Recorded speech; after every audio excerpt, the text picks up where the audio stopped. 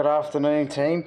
Um, still learning this tech, so uh, yeah, it's all good. It's all good. It's fun. How's everybody's lockdown doing? Um, man, it's such a nice sunny day out there. I bet that there's a lot of things that we'd rather be doing, but I think um, you know, been looking around and doing a lot of research on this, and it's it's really one of those times where it generally is for the greater good, and we've got to remember uh, about our parents and and um, even our grandparents and all the rest of it, and just realize that um, as much as we want to have our own liberties right now, it's it's for them uh, at, the, at the ultimate. And you know, we're going into a, a very different uh, a very different world.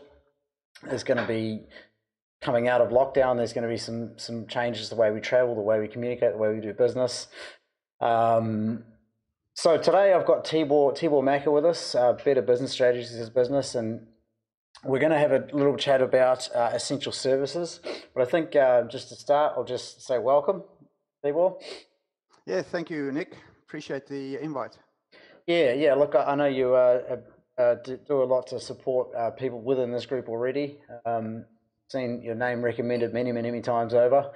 And so, do you want to give us a little bit of a, you know, a bit about you, a bit of a history and synopsis, and and, and just yeah, go from there. Yeah, well, um, I'm, I'm a Kiwi with a South African accent. Uh, so I moved here 21 years ago and uh, ca- came from the chartered accountancy industry. And um, probably about, well, I guess part of my whole uh, working life, I've been in a business advisory type role. And it was a natural progression to uh, step into business coaching around uh, 2006, 2007 and uh, yeah, have been doing a business coaching side of my business uh, pretty much uh, since then, and helped many business owners and or people just in general, um, just thinking about why they're in business, what is it that they want to achieve, and actually help them put a plan in place to actually make it uh, happen. Mm, mm, mm. And so I um, imagine last week a lot of that's uh, probably been flipped upside down on you. Oh, very much so. Yes, my business has uh, taken a quite a knock because a lot of the businesses that I have been helped helping as such, they got hit very badly too because uh, suddenly their income all dried up as well. So uh, yeah, this um, mm, mm. makes it very hard on everybody. A big on-flow effect, isn't it? And oh, totally. I think we're only just really, really seeing the start of all of that, how it's going to play out. Um, so I think we've just got to hold on and yeah, I mean, I, I, I, I from the retail sector and, and like, I mean, there's, there's no work, you know? no, quite right. And those, yeah. and those businesses, uh, you know, have, a, have a significant challenge coming up. Uh, you know, it's all good and well to uh, pay the wage subsidy as such, and it's fantastic that the government has taken that step.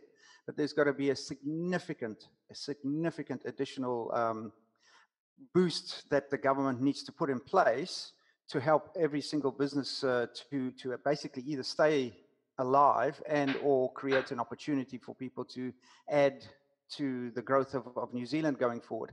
Because right now, many small businesses uh, are tied up with um, leases. Mm-hmm. So, you know, it's, it's uh, uh, if, if you don't have income coming in, like I said, it's all good for the uh, wage subsidy, but uh, you still have all the other expenses to pay for.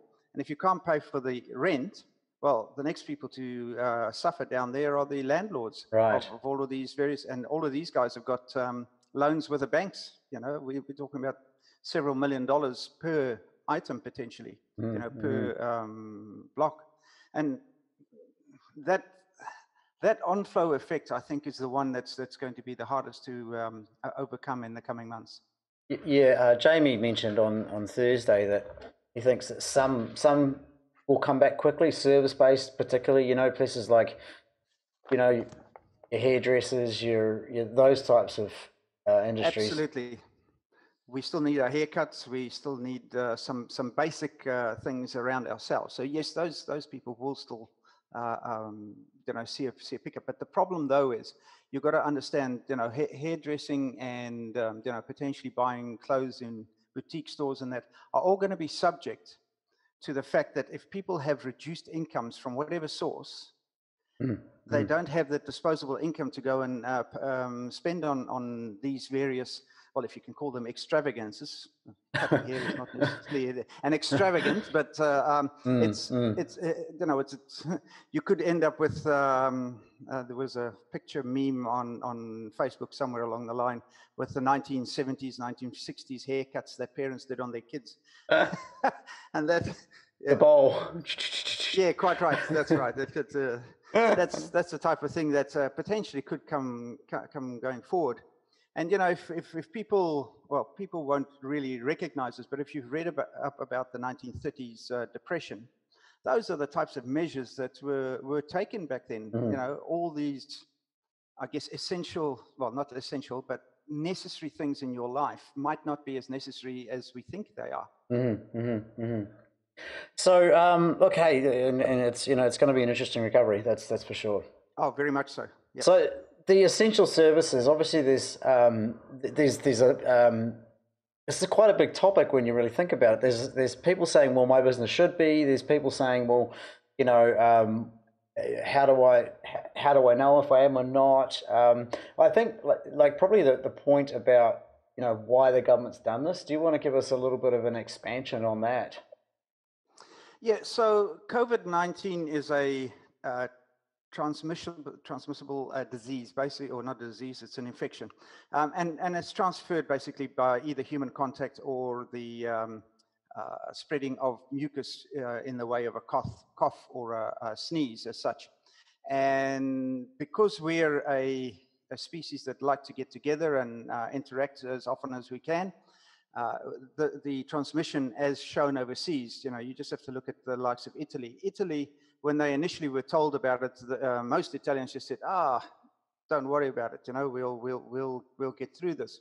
But when the bodies started stacking up, uh, mm-hmm. they took some seriously drastic action, which the rest of the world effectively started copying after China. Of course, they were the first to subject their people, but because they're a, a I guess a communist system where they have the right to shut everybody down, they clearly showed that they, they were flexing, by being right? harsh yeah, they were first. Um, but, but they could enforce it because of their uh, uh, governance system. But when you go to the Western countries where we're democracies as such, you know, to, to cut off people's liberties like that would be uh, an outcry. But mm, it needed, mm.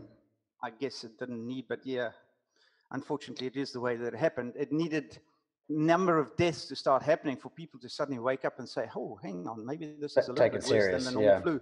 Yeah, yeah.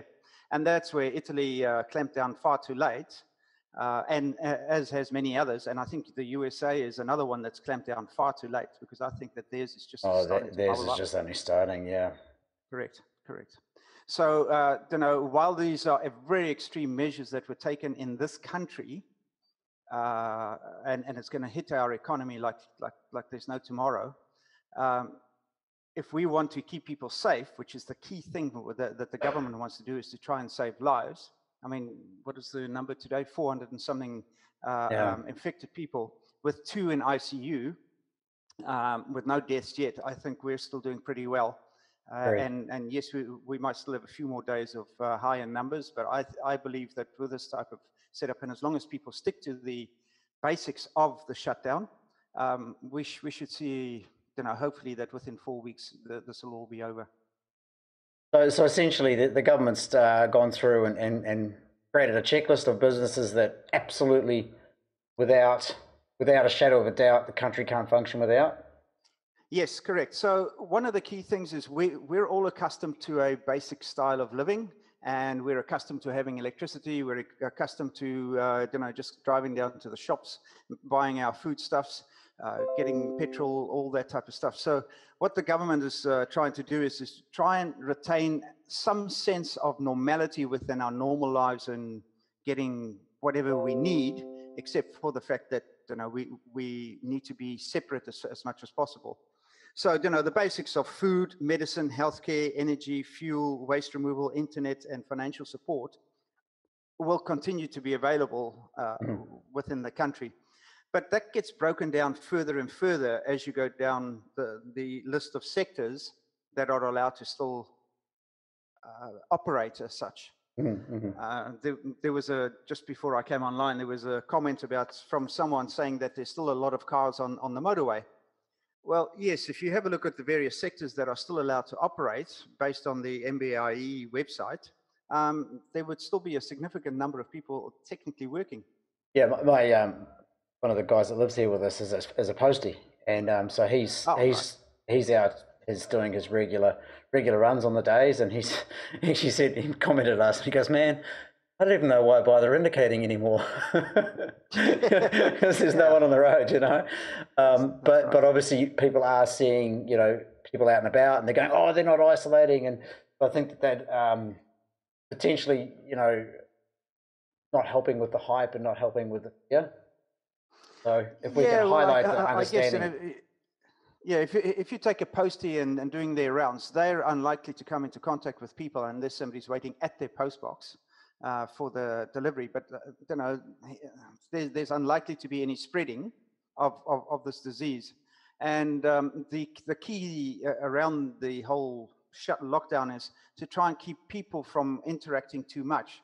So um, there was a diagram put up on, on TV couple oh, of weeks or so ago. one that, that yeah. That's right. So yeah. you, you, just imagine, you know, Nick, you, you go uh, uh, get the virus and then uh, you go to a barbecue and then you go to a networking meeting and whatever else mm-hmm. and, and how quickly can it spread from there so this that's that's why this is happening but the essential services just to keep us in a in a relative style of um, i guess luxury if you want to call it um, is is is still necessary for us. Mm. You know, there's um, accommodation stuff where the uh, government still needs to um, put people into quarantine. Uh, quarantine. So, so several accommodation establishments have been tapped on the shoulder and said, "We're going to be using you." Mm-hmm. So, you know, that's it. Those are the things. There's border security. There's still people coming in. Uh, and, and, and, and moving around uh, that, that, that need to uh, be, be checked, but also parcels and stuff. So all parcels and all uh, shipping from overseas is still t- uh, technically happening. Mm-hmm, mm-hmm. You know, we, we, need to keep our food supplies and everything going. Courts and tribunals, although they've been reduced significantly, um, they, there's such a backlog, they, they couldn't really stop them, so that's still happening. Uh, education, well, we all know that that's just shut down. Uh, yeah, but there are um, uh, teachers still working in, in uh, online delivery. So technically, yeah. they are still working. Uh, I think that that one was the, the, online one was a, a, big area of confusion for uh, a lot of small smaller players that you know perhaps just work from home and they just want to send their goods out. Um, I don't know if there's been any more definition on that yet. No, so um, all non-essential stuff uh, um, technically cannot be moved by delivery uh, people. But you know, if you've got medicines that need to be delivered, or um, I, am not 100% sure whether vitamins fall under the healthcare mm-hmm. setup, but they should. Um, but yeah, uh, so those those types of businesses should be open. Um, I haven't seen anything specifically around that, but they just talk about medicines in, in general. Yeah, I had some um, um some supplements turn up, some you know protein and that kind of stuff. Yeah. So yeah. yeah. so so that is still regarded as that. Then of course the other one is the fast uh, FMCG uh, group, the fast moving consumer goods. Um, Supermarkets. All, um, yeah, you know, supermarkets and stuff. Financial services, and this was interesting. So it's um, the financial services that are still open is banking services, the stock exchange, broking services, payment and settlement systems, funds management, uh, and insurance services uh, uh, and financial advice. So, you know, those are still um, sectors that, that, that, are working. So if you take the, the number of people that work in those, they are, they are still technically working. Although a lot of those businesses can work from home. Mm-hmm. But uh, un- under the current guidelines, they can still go to an office. Right. Okay. So you know there are there are rules around that though. You know you've got to now instead of having a little cubicle next to each other, you've got to be able to sit two meters apart. Mm. That's why a lot of those types of businesses have all moved uh, home and set up home offices. That kind of makes sense, and it makes the commute a whole bunch easier too, doesn't it? yes. Yeah and then then then the whole um, health uh, sector, of course, you know they they have to be on alert all the time. So you know there's there's nobody there that's uh, been told to stay at home. The only people that are potentially at home are potentially da- data entry people. Mm-hmm. Yeah, a friend of mine is actually a nurse down at one of the hospitals. Um, yeah, little little I guess concerned about going to work, but knows she's got a job to do. Um, yeah. Yeah, and, and unfortunately, you know, if you look at the statistics overseas, um, the uh, health workers on, on the front line are, are one of the most severely affected um, at risk uh, job at, at, high risk. Yes, correct. Yeah. So. Hey, there was one question that's come through, Tibor. Um, it's kind of sure. a bit of a segue, but I thought we, we might answer. It's from a guy called Reese. He's just said, Hey, look, is there any indication or estimate that we know of of how many small businesses will not cover from the recover from the COVID nineteen situation? At this stage, I, I couldn't comment. Um, yeah. I, all I know is that there's going to be a hell of a lot. Yeah, I don't think that there, has been any real projections put out uh, through the government websites, from what I can see. Um, but yeah, I think it's it's just one of these ones where at the moment the small business got to do everything they can to pivot and and yes stay alive somehow.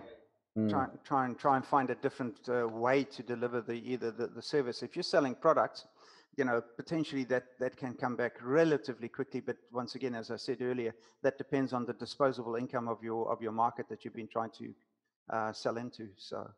Uh, yeah.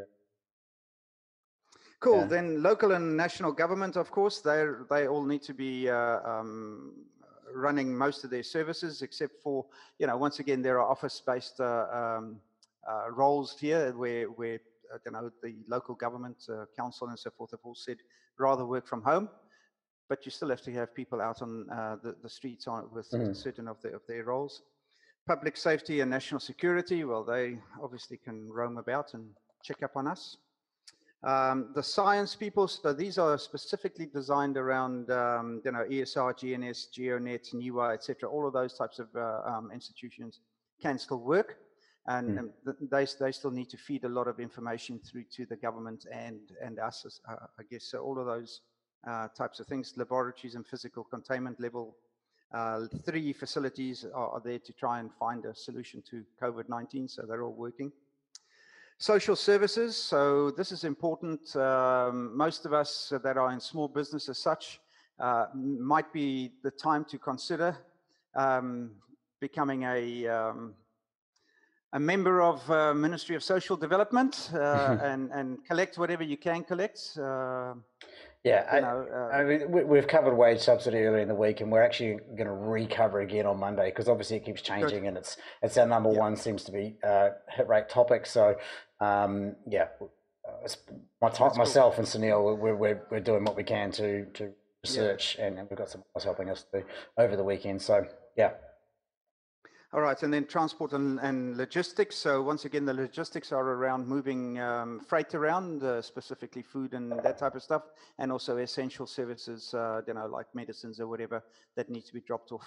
So, so those those people are still working. Utilities companies. Um, and including their supply chain. So, you know, your electricity, your water, yeah. um, all, all of those types of services need to keep running. Uh, uh, what I have understood is that a lot of those people uh, are, are, on call out basis. So if something really goes wrong, then they get called out. But those that are working at the front line, in other words, making sure that the water flow or the electricity, you know, where they have to keep monitoring switches. People in the factories. Uh, the... That's correct. They they still need to. Um...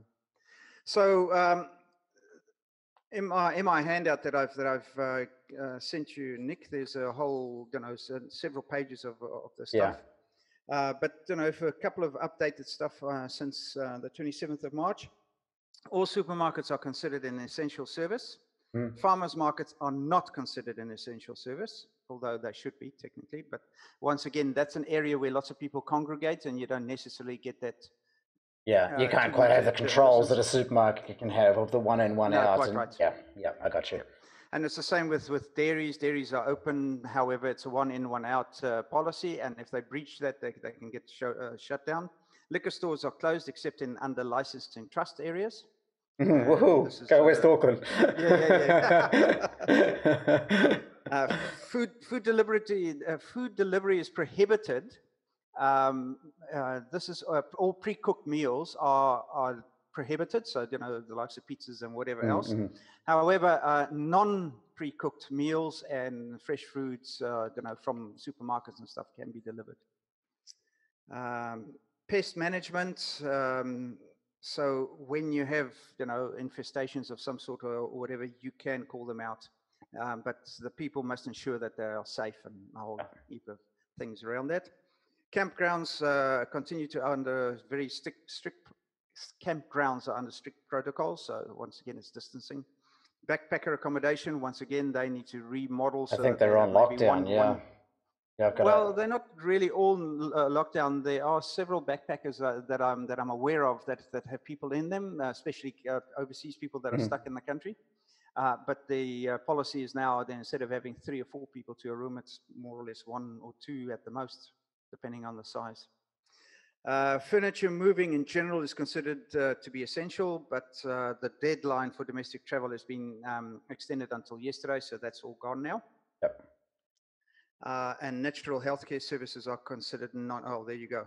Yeah, um, which is we've covered. So.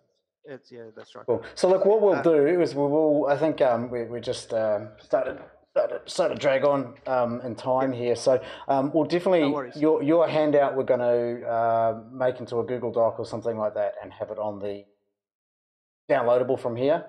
And I think um, you know, uh, guys, if you if you're in this group and and you're, you're wondering about um, you know how to pivot your business. Tibor's a wealth of knowledge. He gets recommended probably, I couldn't tell you how many times, um, and he's got an accountancy background. So, you know, ask questions. We're here to support. And um, yeah. Yeah. Anything, anything, any, anything you want to close off with, Tibor? Uh, I guess the uh, most important thing is it, it's about understanding why you're in business and what you want to be able to achieve uh, uh going forward the landscape that we're going to emerge into is going to look substantially different. So how can your product or your service potentially service a new looking environment? Believe me, what we're used to in business is not going to come back the way that it is that it has been. I think even socially there's going to be changes, you know. Oh, very much so. Uh, this this this whole virus uh, thing is going to be uh, uh, substantially different, I think, for at least another year and a half. And you know, where we're used to shaking hands and you know having a convivial hug and whatever else, all of that I think is going to be changed in our business lexicon for a, for a substantial number of months. Well, it's interesting times. So, um, hey, again, thank you so much for your time, and thank you to everyone who's tuned in. And we will catch you tomorrow.